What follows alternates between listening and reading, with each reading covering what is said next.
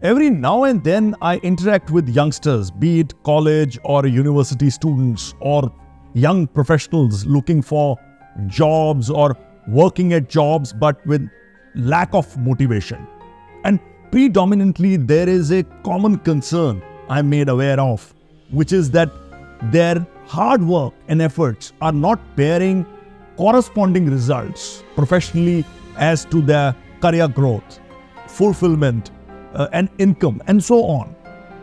And in response, I tell them this short story, which I'm narrating here for my podcast uh, audience, viewers, and listeners the bamboo and the oak tree story.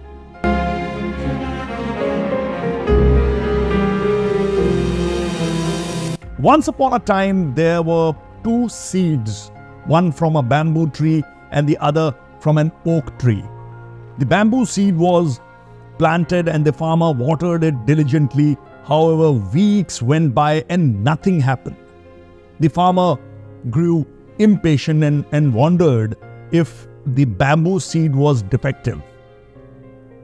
Meanwhile, the oak seed sprouted quickly, growing into a, a, a sapling. The farmer marveled its progress and felt proud of the sturdy oak tree. But still, the bamboo seed remained dormant. After several months, the bamboo finally broke through the soil. Within a few weeks, it shot up to an astonishing height, much taller than the oak tree. The farmer was amazed. When he asked the bamboo why it had taken so long to grow, it replied, While you couldn't see it, I was busy building strong roots underground. Now that my foundation is solid, I can grow rapidly. What is the takeaway from this story? The takeaway is that, like the bamboo, sometimes our progress and growth are not visible immediately.